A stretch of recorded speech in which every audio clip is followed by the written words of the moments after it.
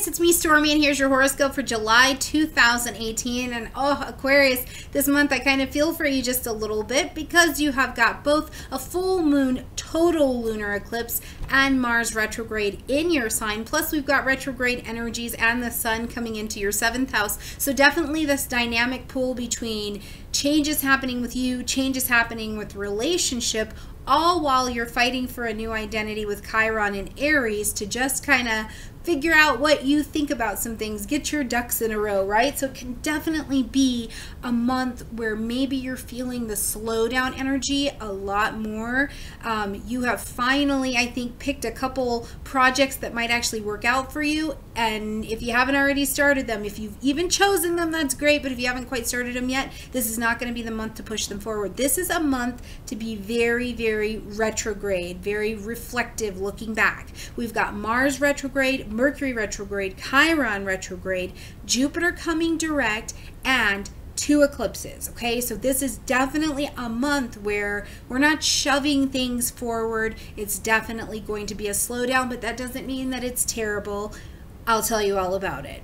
All right, so right here at the beginning of the month on the 5th, Chiron is transiting Aries and it's going to take a retrograde. Now, Chiron transiting Aries, we're fighting for our identity anyways. What's my purpose? Do I belong here? I do belong here. How do I express myself? All of these things, we're fighting for an identity and this is in your third house. This is the house of study, of communication, of the mind, right? So I know you are on your mind a lot right now. How you're speaking, how you're communicating, how you're receiving information. Do you need to study something else? If this is business for you, um, maybe you do, maybe you don't have a website. Is it a good enough website? See, when Chiron goes retrograde, the first thing that tends to run to the surface is a lot of doubt right? We get this doubt about how things are, how you are with these things. But what really this energy is showing you about this month, Aquarius, is looking at the limiting beliefs that you have or the lack of faith, however you want to say it, that keep you trapped in the box that you're in instead of growing out of it. So you're going to definitely be working on that this month. Thank goodness we are slowed down enough that you have the opportunity to slow down as well, to listen and to consider.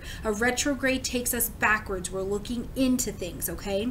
On the ninth, Venus is going to go into Virgo, lighting up your eighth house space. Now, Venus is a very attracting kind of energy, right? She does this. She's very, very magnetic. She's harmonious, diplomatic, sensual. She loves money. The eighth house is another money house. So this could definitely be the kind of energy where maybe your spouse or your partner or somebody that you're close to or share funding with gets a raise or something and it ends up benefiting you. You could have a bonus coming to you. You could have an inheritance coming to you. You could have any number of things that happen and kind of walk into your world that you didn't necessarily be work for. You know, they're not coming out of your paycheck specifically, but they're still a really nice benefit to you. Now, one of the other things that I'm thinking about too here is that this is wonderful for intimacy. Venus loves the sensuality of deep um, connection. So this would be so great. I mean, and even in intimacy, we're not just talking about the intimacy of, of romantic intimacy. This can be the intimacy of just a great cup of coffee with a friend being like, oh my gosh, has the entire world just stopped or is it me? You know, this could be the intimacy of taking that astrology class, right? Whatever it is, there's just such a depth and a beauty that's happening right here for you as well. Now, on the 10th, Jupiter is going to come direct in the sign of Scorpio, so this is beautiful in your career, okay? Now, keep in mind when I say career, if you are retired, if you are a stay at home parent, if you do something that is outside of the corporate structure, this still applies to you as well. Jupiter is here and he's our biggest benefic planet. So even when he's retrograde, he's like trinkling in benefits and opportunities and things like that. He's very generous. Now that he's coming direct, he's going to just make it rain. The opportunities will become a lot more abundant. But remember with Jupiter energy, he puts the opportunity in front of you, but you have to move your feet to go get it. He's not just going to hand it to you, but he will give you the opportunity and the resources you need to go after it. So in your career life, you can start to see some expansion, right? You see th things start to grow, things start to be a little bit more abundant in this place, which is absolutely gorgeous as well.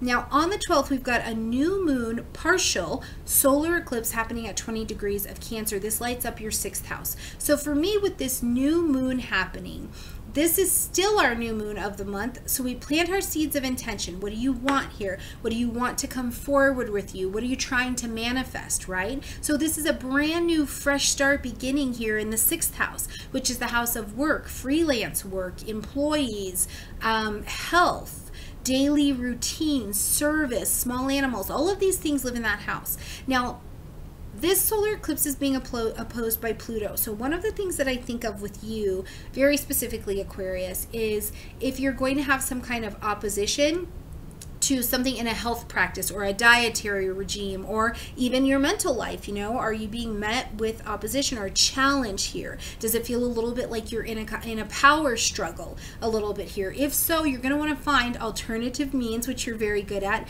to handling these these things. Is it time to see a practitioner? Is it time to go to a chiropractor? Is it time for um, counseling? Something like that coming up for you. But whatever it is i think that the other energy um, that's very specific is that it's asking you to be responsible for your sixth house things. So if it is your health, if it is your career and your coworkers, you're really being asked to step up to the plate so that you can have a new experience.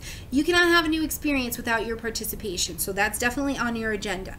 Now, on the 22nd, the sun moves into Leo, and on the 26th, Mercury takes its retrograde here in Leo. So, this has to do with relationships. Okay, the seventh house, which is your opposite energy, is relationships, partnerships, any place that we're doing those things.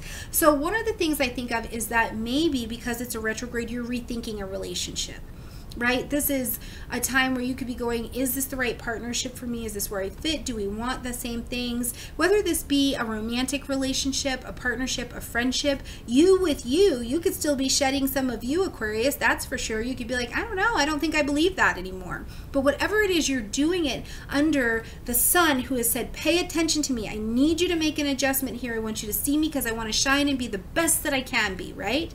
And Mercury who said, okay, well, let's look at some things. We're going going to retrograde. We're going to look back so that we can make good decisions going forward. Mercury retrograde is infamous for bringing back old lovers as well. So you could have somebody from the past blow into your world. I will tell you because Mars is still retrograde. If you can keep the physical um, off the table, that is the best for you because you could really tank something before it even gets off the ground. So kind of keep that in mind. We're in a lot of retrograde reflection energy, reflection, reflection, reflection, okay? Now, on the 27th, we've got our full moon of the month. It's the full moon total eclipse that is happening in your sign. And this is along with this Mars being retrograde here as well. Now, this is our full moon, which means something has to be ended, acknowledged, or adjusted. So there's a shift coming to you. And I think a part of the shift that could definitely um, be happening or be coming up for you, especially because this is so closely connected to Mars.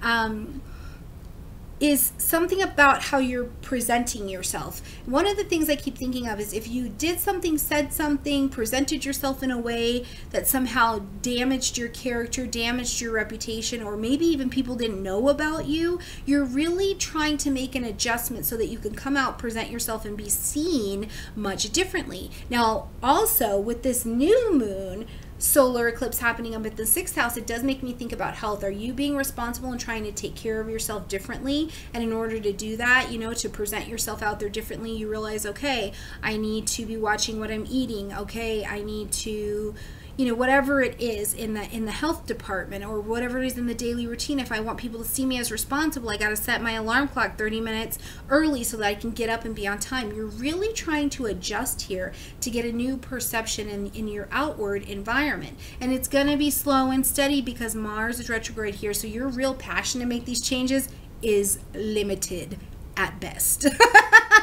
it is going to be such an interesting month. You've got a lot of you slash partnership energy going around, and that always makes things interesting. But please keep me posted on absolutely everything that's happening. I love seeing how the forecasts are working out for you or what you're getting into. So put it in the comment section down below. If you need me, you can find me at stormiegrace.com. Like this video, comment, share, subscribe, and I will see you throughout the month, okay? Bye, guys.